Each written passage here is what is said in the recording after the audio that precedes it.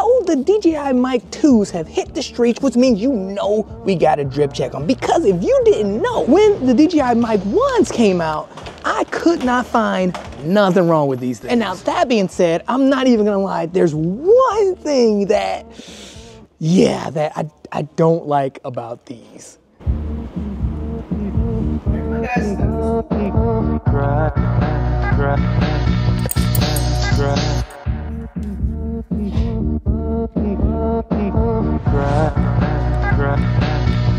Yo, how you guys doing, man? Happy Wednesday. Ooh, that sun, look, look at that, that sun is hot. Jeez. Anyway, how y'all doing, man? I hope you guys are having a great start to the day. I know I am. It, like, uh, y'all, it's like 50 degrees today.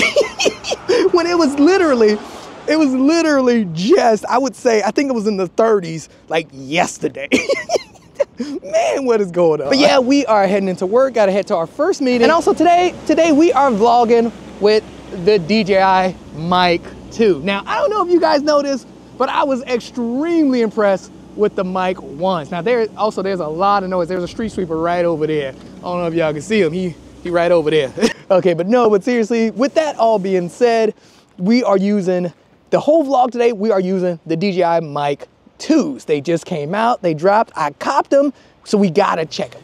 We gotta do a drip check. And I want you guys to pay attention to the audio quality. I'll pay attention to the battery as well as the differences between the two mics, the DJI Mic 1 and the 2s.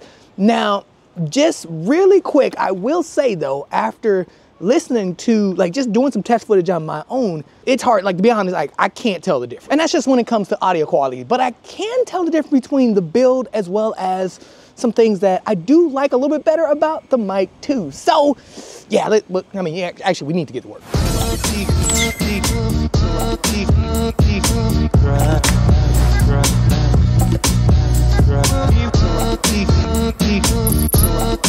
Okay, just finished up my 1030 meeting, so now let's talk about these DJI Mic 2s real quick. The first thing I want to actually talk about is the price, because you got a couple of options, and y'all know I be trying to save y'all some monies. Dang it, I dropped my phone. All right, so basically you have three options. You could either buy the full package, the full bundle, which comes with two mics and the receiver, and that's going for like 350 And then you have just the mic itself, which is about $100, or you have the option of buying the receiver and the mic.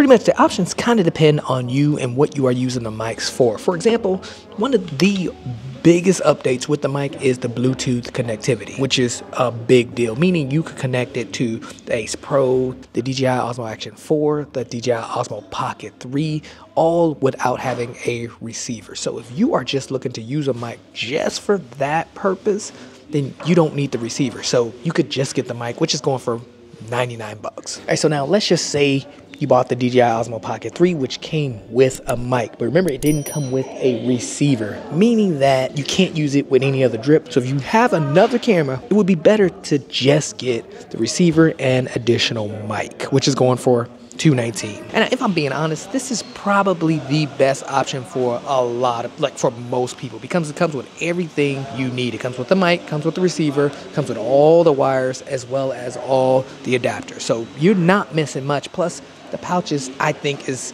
I think this pouch is actually better than just lugging around the case everywhere. But now let's just say money in a thing, you got the bag, you hug the block hard, and you're looking for the whole shebang, then this would probably be the best option for you. And again, you get a case with the adapters, two transmitters, and one receiver. And if you go this route, the best part about it is the case because not only are you getting two mics and a receiver, but the case is a charger. So all you have to do is plug in the mics, put them back in, and boom, you are, mean, you charge it. And they charge extremely quickly. But yeah, you guys probably already know that because they're, that's the same thing that the Mic 1s did. Which brings me to similarities as well as differences I've noticed from the Mic 1s to the Mic 2s, which is first one being the case is a little bit heavier and is longer. And like, yeah, it's just bigger overall. It's not taller, but yeah, it is bigger. Something else that's similar is the overall use of the mics. They work, they work almost identical to the old mics. But the last thing being the build quality as well as the audio quality, those are both the same. I don't care what nobody say, they sound exactly the same and they are built extremely extremely well. Oh, and they also both still offer internal recording with 8 gigs of storage. So plenty of storage no matter which ones which ones you use. But now when you take a closer look at the mics, that's when you notice a couple of things that are different. Like for example, the magnet on the mic 2s are a lot stronger than the magnet on the mic 1s, as well as the lighting placement is different too as well. So the lights are on the side on the mic 2s and the lights are in the front on the mic 1. And also on the mic 2s, the button layout is a bit different as well because they moved the power button and the record button. And yeah, that's pretty much. Oh, and then you also have, you can see that the mic itself runs along the entire microphone, whereas on the mic ones, the mic is just here. And something else that's different is also the receiver, because as you can see, you now have a dial on the receiver rather than just the touchscreen alone. And now there are a couple of other differences, but the biggest two differences have to be the Bluetooth connectivity as well as the 32-bit float. Those two are the biggest game changers of the mic 2. So if you are looking to upgrade, you need to think about that. For me, I wouldn't really upgrade unless I was using the Bluetooth connectivity. That Bluetooth connectivity though, that's probably more important to me than the 32-bit float. I'm just super saying, I'm just super saying.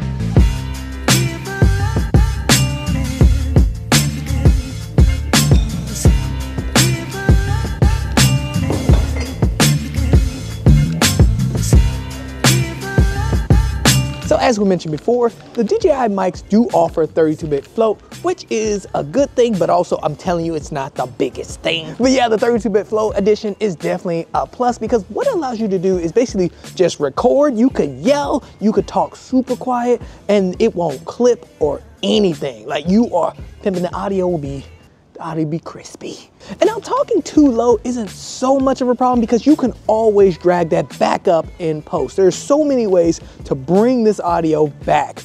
It's the clipping that's mainly the problem. Because you see, if your audio is clipping like a bunch, that is extremely hard to save. Like you can't bring that back. A lot of times you cannot bring it back. And that is where 32-bit float comes in handy. See, when you record with 32-bit float, no matter how loud you're yelling, the audio won't clip. So you have pretty much safe and usable audio all the time.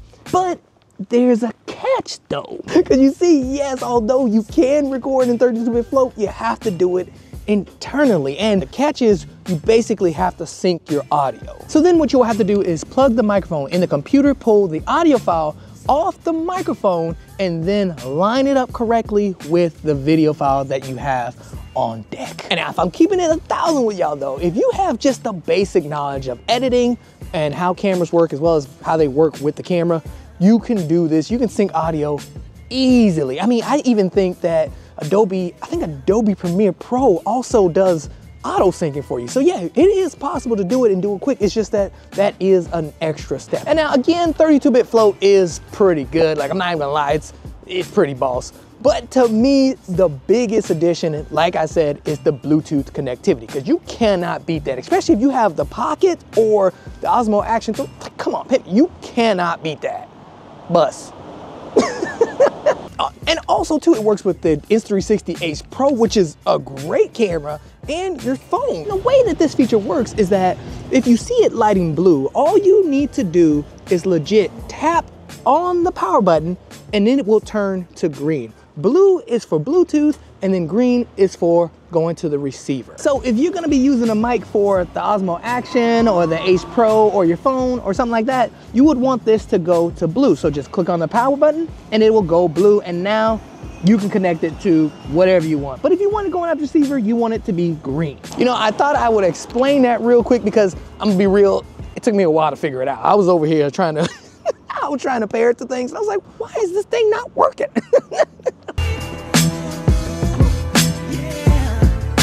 and now since we talked about all the pros and how great these are, there is one con. It was something that I did mention this right in the beginning of the video. There is one thing I don't like about these, and that is, that's the case. I think the case is just too big. And now this is just my personal opinion. A lot of people actually like the case and they like the new addition to the, to the latch, which I never have any problem with the old case. But for me, again, I think the case is too big and it is a little heavier than the first one. And I would prefer to be the same size as the older case. And this is just, again, I'm just super safe. Like legit, for me personally, buying the whole bundle, I'm probably never gonna use the case. I'll probably just use the receiver and the microphone and that's it. And I'll just throw them in my pocket or something like that. Or throw them in a pouch that I have lying around. But for the most part, yeah, I think I think the case is just too big. And for me, that's that's pretty much it. And you know what? Overall, I think the mics, I think the mics are solid. Like I'm gonna be real. They are some solid mics. But I do think that you don't really need, you, you gotta choose wisely. I feel like the average person doesn't need the whole bundle. I'm just, look, I'm just super saying. But yeah, the mics are good. And then when I'm comparing it to the mic ones, the DJI mic ones, yeah, they're very, the, the, the audio quality is so similar, but you're not getting a 32-bit float and you definitely not getting the Bluetooth connectivity. So that's the only thing. But other than that, yeah, the mics are those, mics are good too. And they just dropped the price. They also dropped the price on the Action 4 too. Have y'all seen that? But anyway, anyway. But yeah, they did drop the price on the mic ones. So yeah, they dropped to 250 and I think that that's a pretty good deal. Especially, I mean, if you can find it used, pimpin', get it used. Pretty much you can't use anything from the mic ones with anything of the mic twos. That goes with the case as well. So I just wanna let y'all know those things, the mic ones and twos, they're not interchangeable. But yeah, overall, DJI, good job. Like for real, y'all definitely passed the drip check.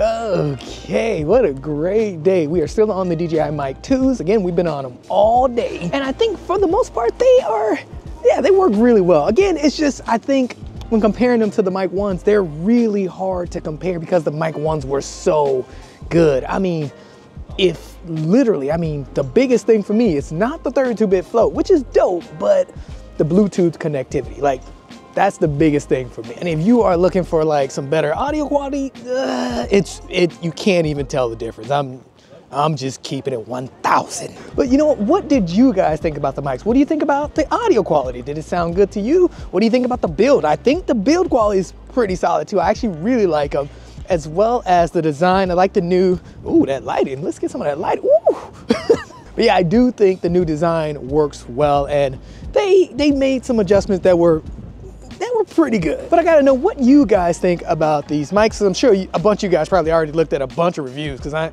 I'm like super late. so I would love to know what you guys think about these mics. Like, do you like them? Do they suck? I would love to know your thoughts down below. And also, I gotta give another quick shout out to Domingo for sponsoring today's coffee. Thank you so much for the coffee. And if you wanna buy me a coffee, don't be shy, the link is down below. But if not, no tea, no shade, cause y'all already know I ain't a hater. Hater in my hood never let me be hater. Side note, I just bumped my head on this plant. anyway, thanks again for watching. I hope you enjoyed it because I enjoyed making it. I will see you in the next one. Also, look at this shot right here. Look at that. That's the moon that's the cathedral. Come on, tell me, tell me that ain't a gangster shot. Come on, look at that shot. All right, I'm out. I need to get home. okay, can you guys see me? Can you see me? yeah, so how is the, um, how's the audio?